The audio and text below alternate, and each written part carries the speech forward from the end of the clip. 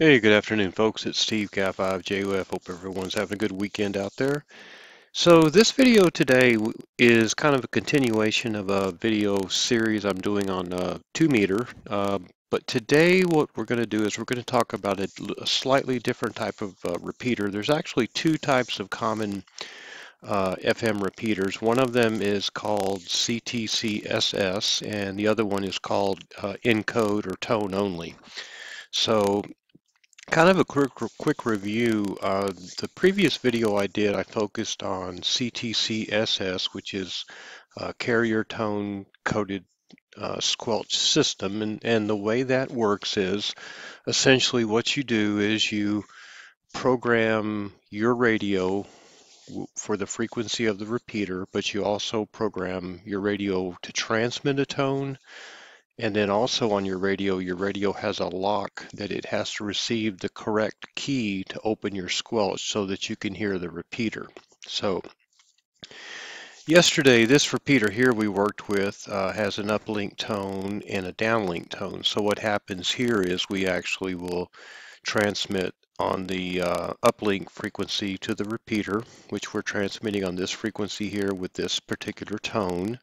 And then of course, on the transmit of the repeater, the repeater is also going to transmit a key and our radio has the coded tone squelch which is basically the lock and this key will unlock this CTCSS and we can hear the repeater. Otherwise you wouldn't be able to hear the repeater without this special, without the uh, you know correct combination of key and lock to unlock your squelch. So that's kind of a review of what we did yesterday. So what I'm going to go over today is a different type of repeater and it's called an uplink tone only. Now the uplink tone only, what that means is essentially your the repeater only requires a tone to access it, but the repeater does not transmit a tone. So the, what that means is since there's no tone, anyone can hear that repeater. So that's the difference between CTCSS. You have to have your, your squelch set with the proper tone in order to hear that specific repeater. But on this particular combination here where it's encode only, you do not have to have any settings on your uh, squelch settings. In other words, your squelch is essentially open and you can hear any repeater or any simplex communication you want to because there's no code here. There's no lock on your radio. Your squelch is essentially open. so I'll demonstrate that. So again, just a quick review. Um, Again, the downlink is the transmit frequency of the repeater. And of course, this is the frequency that you will adjust your VFO and program the memory location. The uplink, of course, is the uh, receive frequency of the repeater. The offset, which is typically in two meters, going to be a, a negative offset. There can also be a positive offset above 147 megahertz. And the uplink tone, of course, that's the tone from your radio to access the repeater. And the downlink tone is the tone transmitted from the radio to your to your radio. And of course, this is where you have to have your CTCSS code in your radio to allow you to hear that repeater. If you don't have the code, you don't hear the repeater. And of course there's CTCSS, and of course the tip here is if you have an uplink tone and a downlink tone, then of course this will be CTCSS. Now what we're going to go over today is an encode only tone repeater. And again, that when you, the way you identify an encode only repeater is it's only going to have an uplink tone. There will not be a downlink tone. For example, on this repeater here, you see an uplink tone and a downlink tone. Now on this repeater here, you only see an uplink tone. So this is an encode only repeater. This repeater here is a TC, CTCSS. So that's the difference. And this is what we're going to do today is we're just going to program an uplink only. This is what we did on a previous video. We set the actual setting here for CTCSS.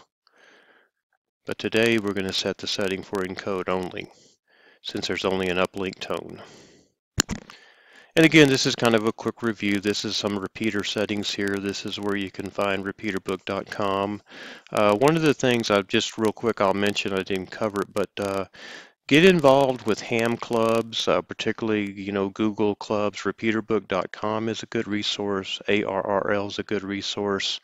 Uh, listen for traffic and so forth. Uh, listen for, you know, Saturday morning meetups or, you know, Saturday afternoon meetups and so forth. That, that's a way to find out where your local repeaters are. So anyway, what I'll do now, we'll go ahead and switch over to the radio. And again, what we'll do today is we're going to program a repeater in this configuration and all we're going to do is transmit on this frequency here. We'll send the code 88.5 which is an ENC which means encode only. That means the repeater requires a, a, code. However, when the repeater transmits, it transmits open. There's no code or PO code, and anyone can hear the repeater. So anyway, just want to familiarize you with uh, the difference between CTCSS and encode only. So we'll uh, head over to the radio. Thanks. Hey, good afternoon. We're back for second part of the video here.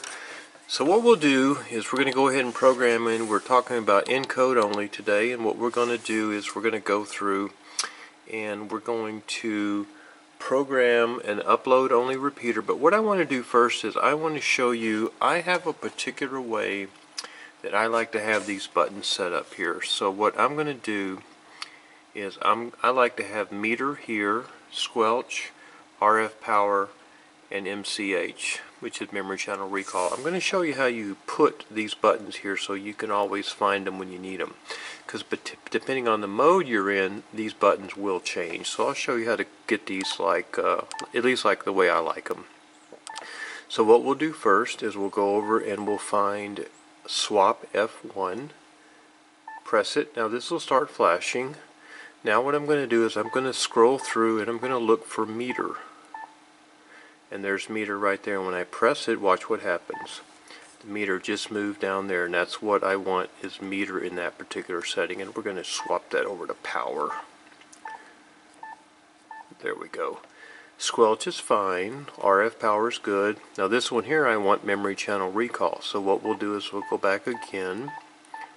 And when I press F4 this is going to start flashing. So let's go find memory channel recall and it's right there. Watch what happens.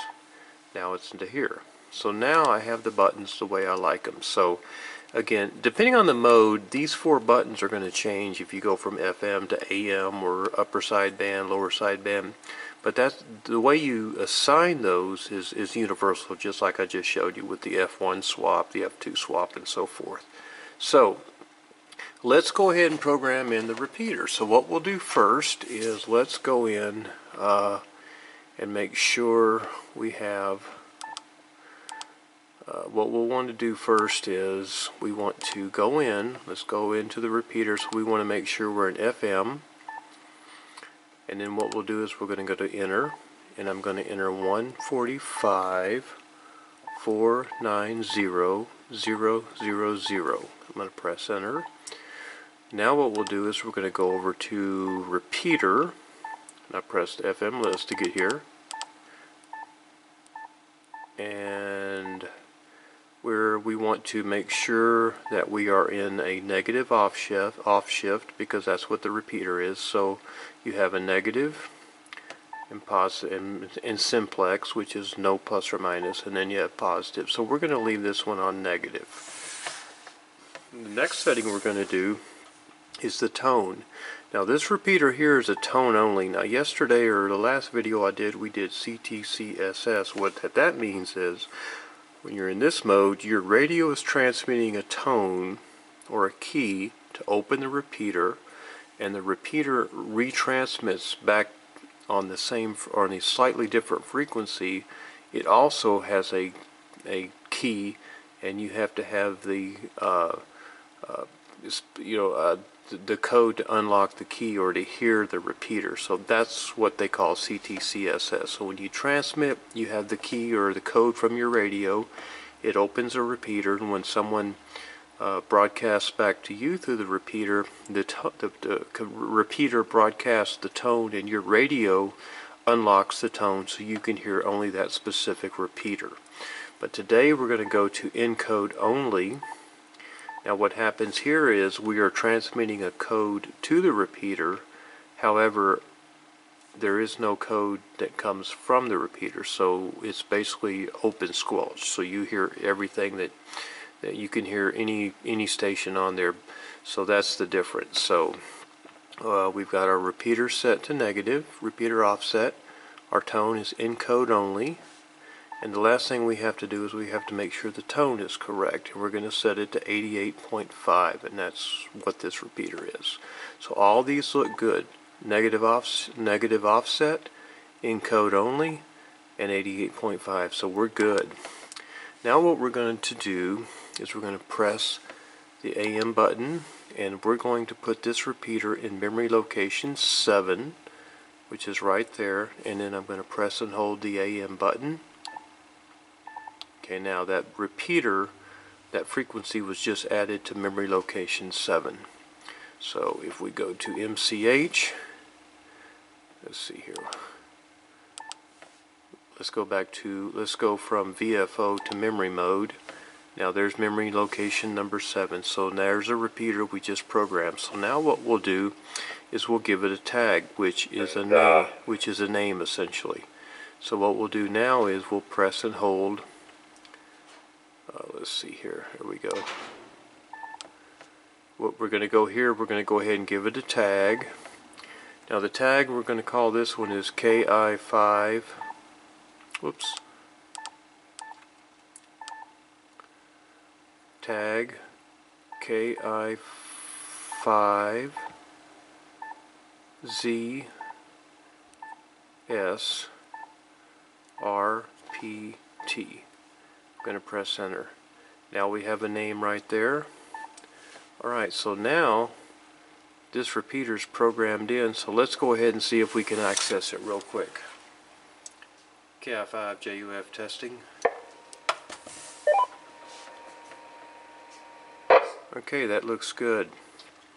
So what I want to show you is uh, a repeater that has an encode only but no code required on the squelch. If you press the squelch button and you turn your squelch, you'll actually hear the open squelch.